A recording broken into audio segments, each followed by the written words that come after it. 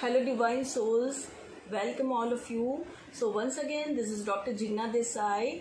Uh, I'm a spiritual life coach, uh, Reiki Grandmaster, uh, numerologist, tarot reader, psychic medium, and a multimodality practitioner, and as well a naturopath doctor.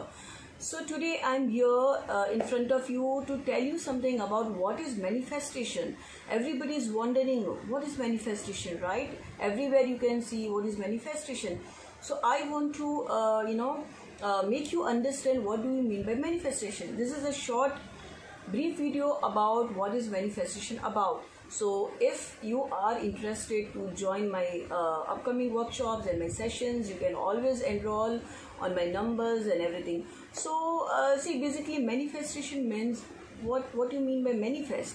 Manifest is something a dream uh, or i can say it's a process wherein you want to you know implement in your life. Whatever you are dreaming or whatever you are thinking it's a process you know.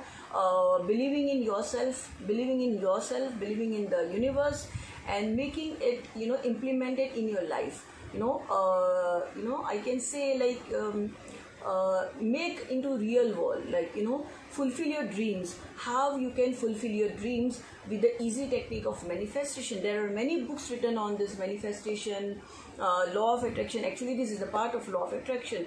So there are also there is also been a movie being made known as a secret. You all might have watched about it so you know you can know about it.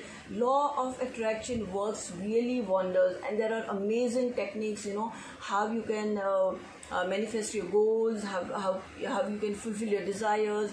There are so many techniques there are different ways of uh, 555 series there is a, a vision board technique there are so many you know different ways of manifesting you know your dreams and everything your desires and everything. So if you want to know more about it to keep watching my videos and to join my coming upcoming workshops. And stay tuned for my next video. Thank you for now. Bye